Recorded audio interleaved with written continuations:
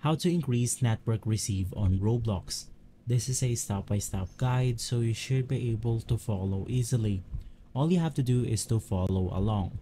First things first, you want to go ahead and click on the start menu on your Windows computer and inside you can just go ahead and search for Roblox. Right after that, you want to go ahead and click on the open file location.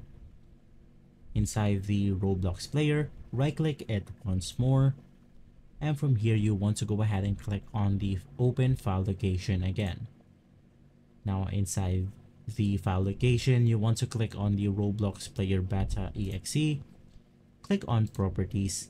And inside you want to go ahead and choose the digital signatures. Inside digital signatures you can just go ahead and click on your signature right here. Click on details.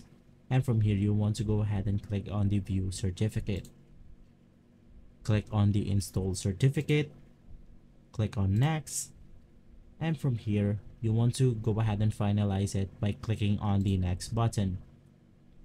Now after clicking on the finish button your roblox will be able to receive more network. So guys if this video has been helpful for you please consider by liking and subscribing. I'll make sure to see you again next time. And as always thank you